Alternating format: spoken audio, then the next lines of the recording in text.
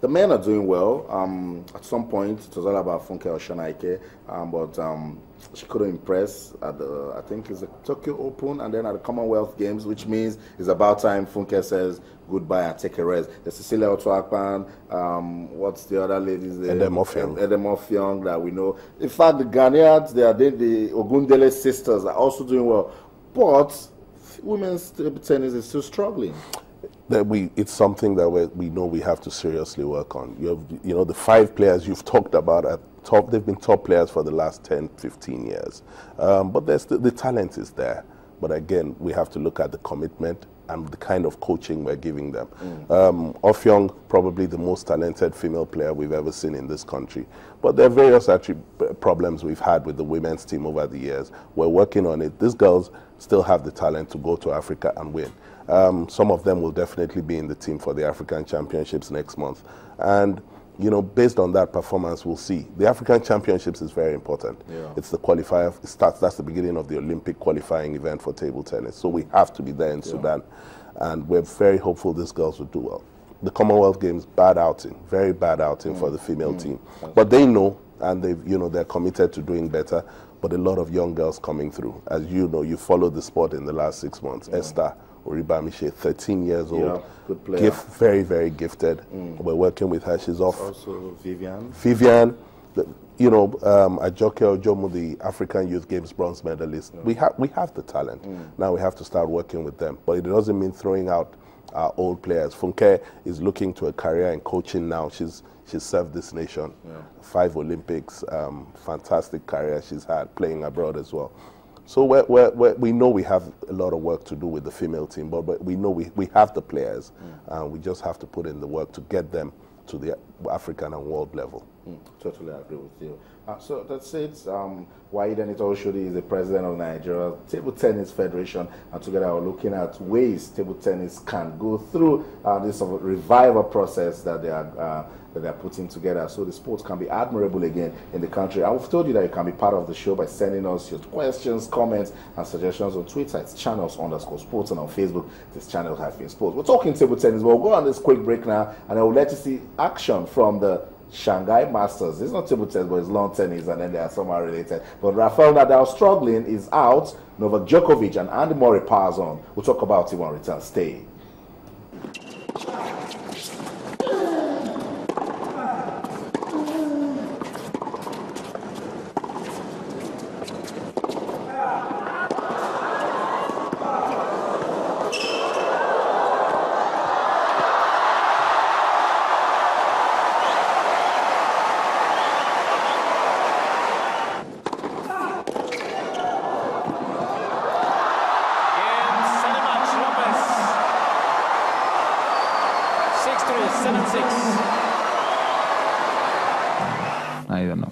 Know yet, yet today, but I, I um, my feeling today and my answer today, honestly, is I'm gonna do it after the World Tour Finals. But you never know. if depends how the things improves, but my my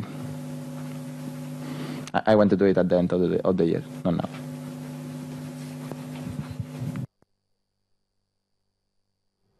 So that's it. Rafael Nadal um, speaking after crashing out of the Shanghai Masters. Um, he's not feeling so well. Needs to attend to his um, problem of appendicitis. But good thing is he honored the championship, but couldn't pass through uh, Feliciano Lopez. But Novak Djokovic and Andy Murray, and of course the big names, you know, they're still powering on. Table tennis gets our attention today on the program, and we have the privilege of um, keeping uh, the president of the table tennis.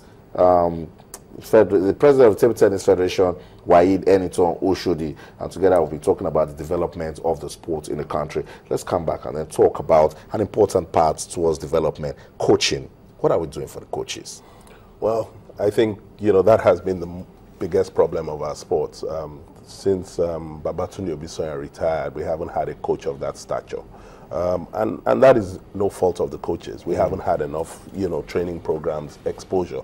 And that's what we're doing now, um, getting our coaches to attend big tournaments along with the players, yeah. working with international coaches. We brought in the ITTF's number one coach, um, Dejan Papic, instructor, came here, did a program for our young coaches.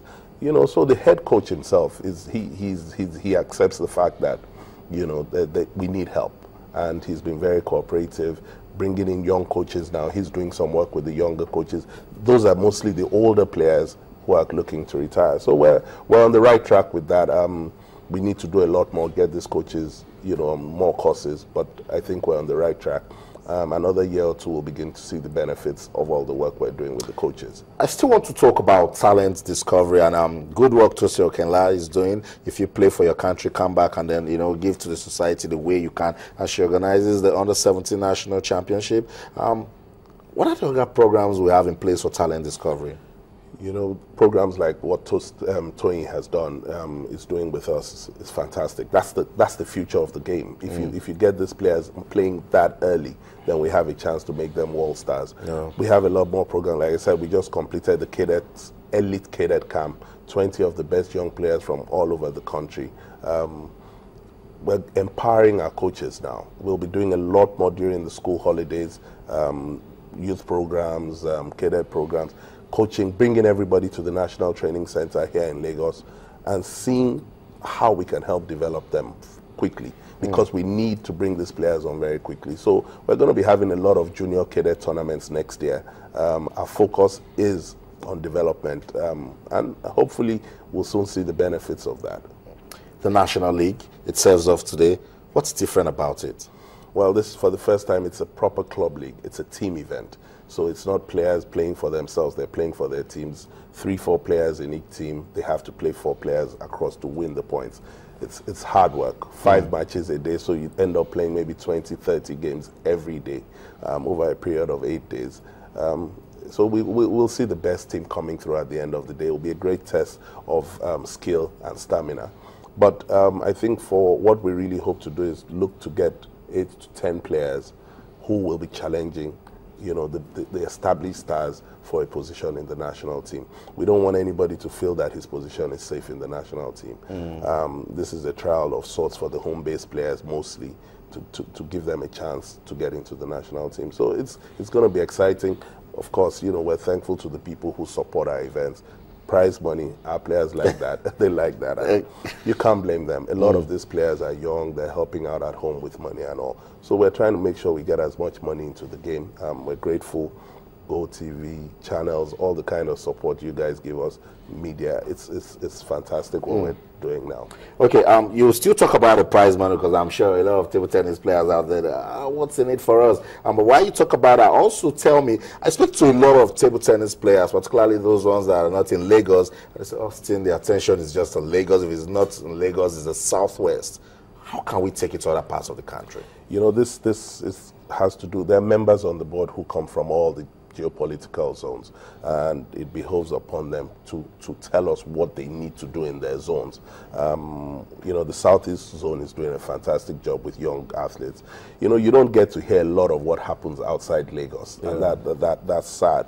But um, they've just completed the Abia State Championships. A lot of good young players. They call themselves the Titans. You know, we're, we're, we're, really we're really keen to see players coming from outside Lagos. We've got players here from from the north, from the east, and yeah. you know, um, south south stronghold of female table tennis yeah. in Nigeria. Yeah. Um, like you said, one of the most talented players. We, we don't get to see enough of her. Vivian, you know, very fantastic player. And of course, you still have Offiong and Otu coming yeah. from there. So you can't discountenance these areas. So it's a misnomer when people say everything is being done in Lagos. Lagos is the secretariat of the Federation. We have the National Training Center here, which has been recently refurbished, you know, by our sponsors. So we don't have a choice. We have to bring the best players to Lagos, the best equipment. We were, hope, we're hoping, of course, Calabar for the National sports festival gives yeah, us a chance exactly. to see players in that axis. Mm. Um, so it's we're, we're working all over the nation, but you know, in terms of talent now, it's you have to look seriously at Ekiti and um, on those states. Mm. They're doing a fantastic job bringing up young, young players, and so. We, we, we have to focus where the talent is. We keep on trying to do events all over the country to bring out new players. But, you know, there's funding constraints as well. So we have to look at mm. the whole picture. Particularly back in the days, Kano used to do very well with producing talents in table tennis, but now the well, north is quiet. We have we have a good coach in Kano, Coach Mike. He's working hard, but yes, football, you see, football has subsumed a lot of sports. a lot of the young kids want to make a lot of money quickly. So we, we, we know, you know, everything you do, you, you, you're going up against football. You're going up against athletics, big, big sports. Um, but what, what we've done is, like I said, is we, we look to the schools. Everybody can play football. You can play football and play table tennis. We know many stars that combine both. So we, we will seek to bring out the best of these young talents through our coaches. And it's the coaches that will do this work for us. That's why our coach development program is very, very critical. I agree with you, but uh, um, somebody is coming all the way from Kano, another one's coming from Cross River State. They want to know, what am I getting back? you know, every time we do something, I mean, first things first is we're going to be, you know, housing a lot of these athletes here in Lagos. We'll, we'll, we'll take care of the expense of that. So they re- all we're saying is get yourselves to Lagos and we'll try our best to look after you. Okay. Um, but then, of course, then there's the prize money. We, um, it's going down to, I think, the team that comes eighth in the tournament. There's Oh, prize cool. money going down that low. Um, I think we have a minimum total package of two and a half million as total prize money, which in table tennis terms is um, is massive. If you remember that, you know, the Lagos International Open, Yeah. the biggest tournament in Africa. Top prize money is still five thousand dollars. So you see that it's it's not a bad payday for these players. Yeah. Um, we, we hope to do more with sponsorship. Um, the support of the National Sports Commission is critical. Um, we're really grateful. The Director General has been very supportive. He's a table tennis man himself, former chairman in Ondo State. Yeah. But there's still, we need a lot more. You know, I keep on saying, my good friend who's just been elected um, chairman NFF, if I get 1% of what he gets, table tennis will be the biggest sport in Nigeria. Okay, I'll live with that. Table tennis will someday be the biggest sport in Nigeria. That's coming from the president of um, the Federation, Why Wade Enitan Shodi. Good to have you on the program. Thank you very much, Austin. Always a Uh, pleasure. maybe we should we should just start off um, the Veterans League or something. Let me come beat you. okay, that's it. And just also mention that um, table tennis has been added to the 2020 Paralympics, and that's a good one. Let's quickly talk about the special athletes. That's a long time, 2020. What can we do to ensure that we have our special athletes here? Well, we, we're hoping to have um, a tournament before the end of the year so that we can classify our special athletes properly into different categories. They have different um, classifications for different players, wheelchair, you know, standing.